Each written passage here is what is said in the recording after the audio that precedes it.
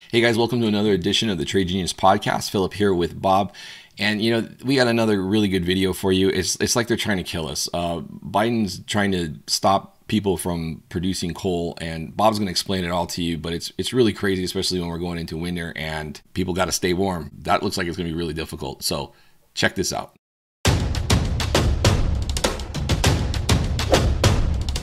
Trade Genius. Okay, so Bob, you know, I, you know, you I know you're all over energy. Um, this seems kind of bearish uh, because he basically they're looking to shut down coal production. Um, so take us through what's going on, and, and is it really bearish? Well, it might be bearish for people's lives down the line, but it's actually hugely bullish from a, a stock standpoint. So let me just set the stage here. Okay. I swear they're trying to kill us. I think they're definitely trying to kill the Europeans because South Africa ships a lot of their coal to Europe, and they're trying to shut down coal plants down. And just like how we set the stage, you know, with uh, natural gas, you know, with Russia, well, guess who is the natural gas provider now for for Europe, right? The United States is the number one exporter of LNG around the world. Now, if you're a conspiracy theorist or you didn't really trust your government, you'd say, huh, what did they do there? And I guess I'll just refer you to Fox News and uh, Tucker Carlson for any any further uh, insights on his feelings on that.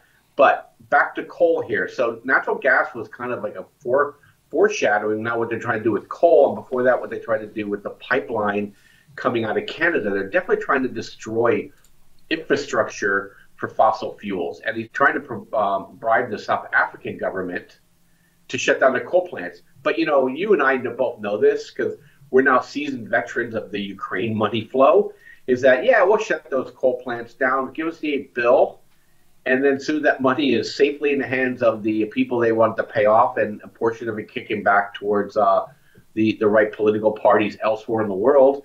Uh, you know what? We need to reopen those coal plants once again. Right. You know, and uh, and yeah, so it's some sort of game. But the the point is though. They're, they're, they're just not stopping, even with outrageous prices that people have to pay to live. And and but I want to show you guys um, why this is hugely bullish if you want to be in coal in the stock side. So if you, if you don't mind, flip it to the next slide, Phil. But I'll open it up to see if you had any further thoughts on what I just opened up with. No, it makes sense, and yeah, I think it's another waste of money and taxpayer dollars uh, ultimately, because um, like you said, they'll probably end up reproducing again, and it's like, what was that money sent out for? I mean, yep. it's nothing new, right? This is just over and over and over and over again with the government. Yep. Money laundering 101. Yeah. All right, so here's the other thing here. So we found I found a really good article. Uh, actually, it was an abstract on coal consumption between 2022 and 2025. And you have to look. You, you're going to have to just take Russia completely off the board here for Western Europe or Western Hemisphere because they're um, they're just not going to be supporting Europe. But also, China is, and India are are consuming coal like there's no tomorrow. And if you guys haven't noticed lately, you know, people give me such a hard time about being Bob the Weatherman, but I'm very keenly aware of these cold weather things. And I think people don't understand from 2020, um, 2024 to 2028 is supposed to be the, the, the depths of this global solar minimum. And we're already feeling the effects of it over the last couple of years. But this winter, we're, we're jacking up, and you need thermal units to live.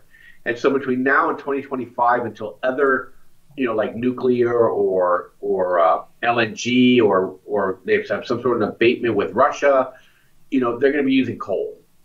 And and here's a chart showing the coal consumption going up in 2025. America, we export a lot of coal. So there's two kinds of coals out there. There's coal for heating and there's coal for uh, making um, uh, steel.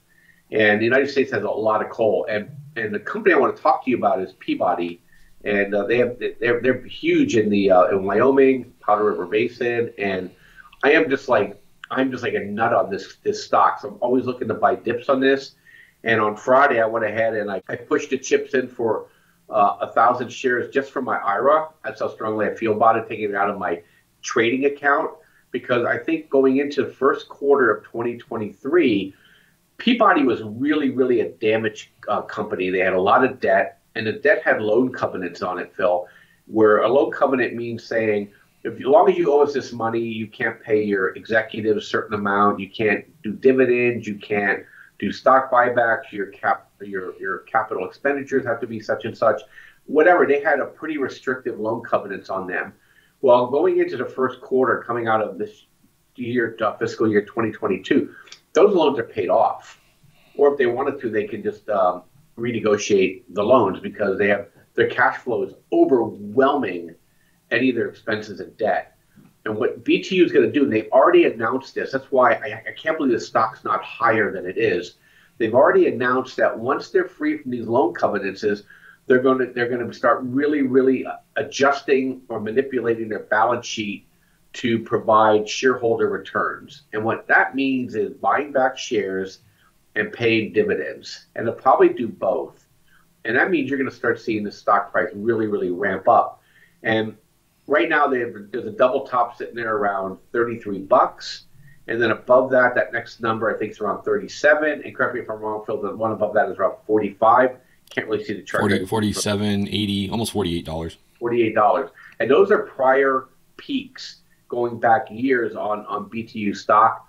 And uh, those, those are I'm using as my roadmap. As you can see here, we, uh, you know, the Ranger is saying buy dips. Um, moving VWAP is saying we're over it. Every time we test it, we lift from that. The heat has been above the uh, uh, our bull bear line, and um, and we're, we're in a nicely rising channel. So people are like worried about what can they own in 2023 with maybe going into recession. You have to buy things that don't care about recession. You know, things that people are gonna have to need to eat or heat their home or run businesses. You know, from a primary level. And I think this fits the bill. So I want to share it with you guys and uh, and throw it out there. And with that, Phil, thank you um, for letting me share that. And guys, if you like what we offer, you know, uh, first of all, check us out at Trade Genius. I think you'll like our service. Uh, we educate you. We, we, we throw you some trades to show you how the system works. We give you access to the uh, algorithms and the indicators that we built, you know, while you use our service. And you can communicate with us. And you can look back at a back video here. We did a live stream on how we managed the Fed announcement. I think it'll give you some insight as to how Phil and I think and and show you what we use. You know, because we're not guru based here; we're map based and and we we we think the market is not as scary and, not as unpredictable as people think. There's definitely a a rhythm to this, and we try to help you understand the rhythm. So hit like, hit subscribe, join our service, hit the notification bell. Um, you know, we think we offer things nobody else can offer in terms of insight and and uh, and knowledge, and and plus, uh, it's a bunch of good people here trading, and you'll you'll you'll find a really good group. So thanks for that, Phil. Thanks for letting me share. All right, guys, thanks for watching. Please hit uh, like and subscribe. Smash that notification button too to be alerted when we release videos. We're doing them about six times a week. So staying current with all the different things going on in this crazy, crazy world. All right, guys, we'll see you on the next video. Take care.